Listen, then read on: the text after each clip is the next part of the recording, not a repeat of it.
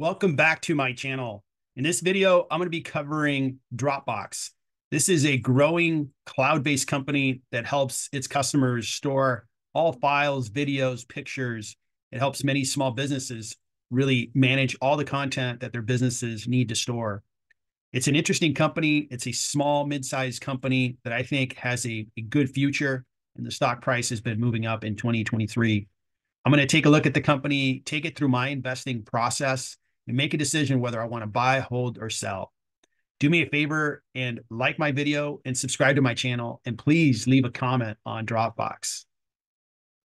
I'm going to evaluate Dropbox to see if it's a good investment, and I'm going to look at three principal areas. First is the company, the management team, and the industry. Do I want to buy into all three? Next is the balance sheet. Does it have low debt and less than three times EBITDA? Last is the discount on the stock. I'm a value investor and I want a discount on the stock. That way I could see my investment go up in value. And based on the answers that I get from those areas, I'm going to buy, hold, or sell a Dropbox. Dropbox was founded when cloud had already come out and they were born in the cloud and help individuals store all their documents, whether you're a creative person that needs to store a lot of pictures and videos, or you're a business that wants its employees to collaborate, work on projects together, and so forth. It's a good company. They've worked with other partners like Salesforce and Adobe to integrate Dropbox into those solutions so that a user could be in Salesforce and store a lot of content on Dropbox or Adobe or other platforms that Dropbox has integrated to. They have many users, over 700 million registered users around the world. 18.1 uh, are paying users, and they store more than 800 billion pieces of content, which is incredible. Dropbox was founded in the cloud era, so they grew organically by just being a really easy to use way to store your, your files, your content. And then those users took their their their uh, preferences to the companies they worked at. A lot of companies started to buy into Dropbox, and maybe there was a couple users within a company, and then Dropbox expands and, and tries to sell the entire business more of an enterprise arrangement to have them store all their documents. So a really natural growth rate for a cloud company. And Dropbox is growing. They're really using this strategy effectively. Dropbox is growing their annual renewable revenue nicely. It's an upward trend. It's not a crazy growth rate, but it's going in the right direction, which is very good. The number of paying users has gone up very nicely. And then the average revenue per user has also gone up. So the metrics look good for Dropbox across the board on revenue growth, revenue stability. The company's long-term targets look pretty impressive and I think are aspirational. Having gross margin of 80 to 82% would be phenomenal. We'll see if they get there. Margins of 30 to 32% would be very good. But the, the number that I really pay attention to is free cash flow, and they aspire to have $964 million of free cash flow by 2024. I don't see the line to get there, but it's good to know that they're aspiring to really be a high free cash flow generating company which is very good in my book. Dropbox has been profitable for some time. Very good to see that they have hit a really good profitable era to their company. I'm going to be using the next four quarters of profits, which look good. And I'm going to be taking all those earnings per share and using a PE that is going to be higher than the PE that they're selling at because it is a cloud company. They're growing. I think they're a really good acquisition target. So I'm going to go with a higher PE as opposed to the one that is uh, they're currently trading on. I think that Dropbox stock is being discounted by 34%. I think each share is worth $39.56, but the stock market's selling the, the stock for $29.62.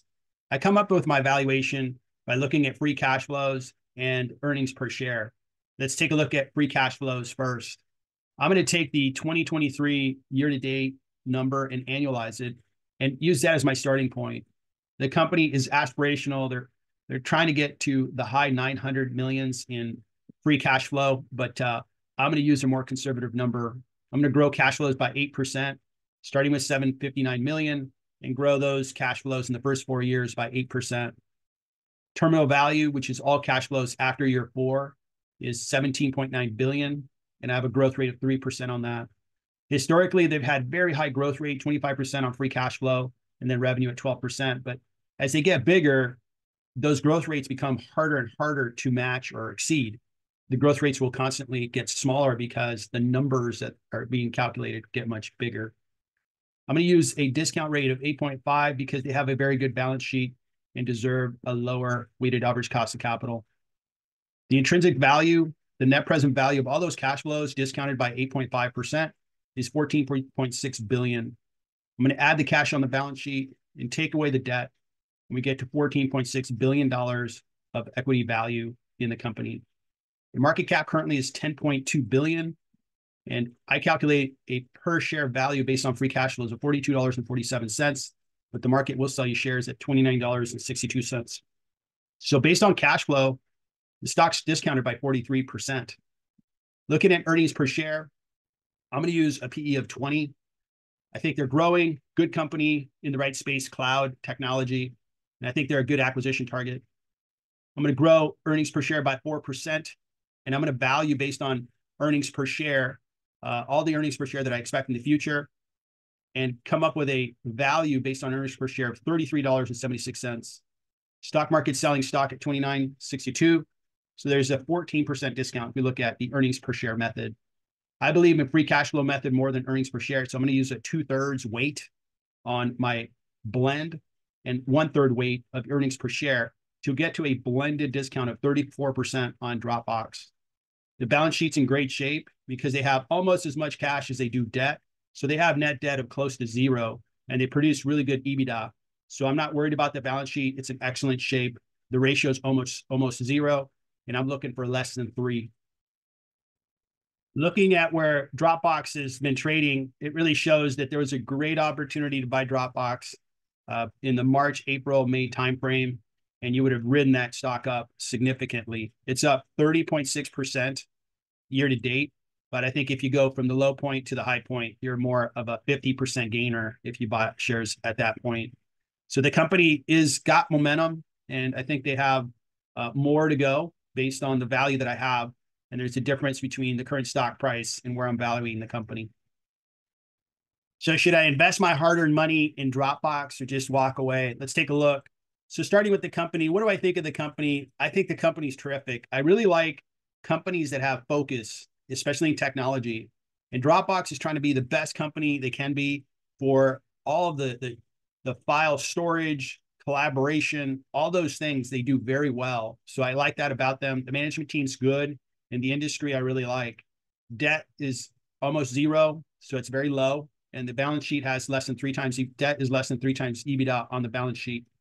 And there's a good discount on the stock. I am going to look for pullback days and buy shares of Dropbox.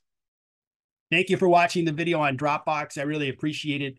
Do me a favor and leave a comment on Dropbox. I'd love to hear what you think of the company also, please subscribe to my channel and like my video. Thanks again for watching.